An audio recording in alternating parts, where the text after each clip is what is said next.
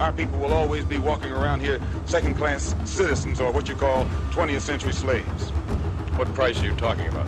The price of freedom is death.